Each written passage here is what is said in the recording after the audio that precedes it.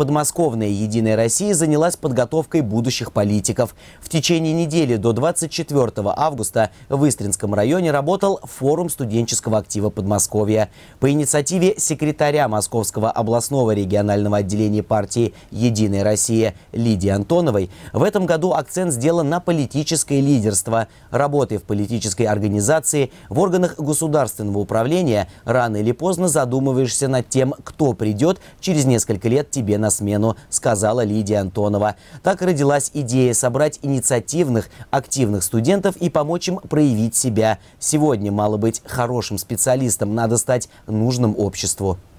В течение недели студенты готовили и защищали проекты, встречались с политиками, учеными, педагогами, молодежными активистами. Экология, туризм, история, IT-технологии – вот основные темы нынешнего форума. Студенты областных вузов узнали, что значит участие в общественно-политической жизни региона и поняли, как можно уже сегодня стать полезным на той земле, где ты живешь и учишься.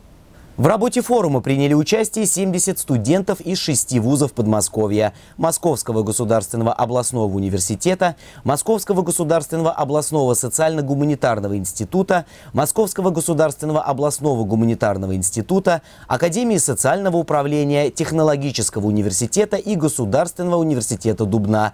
А 22 августа в Луховицком районе делегация Ивантеевки приняла участие в праздновании Дня государственной символики нашей страны и завершающем этапе областной акции «Горжусь флагом России».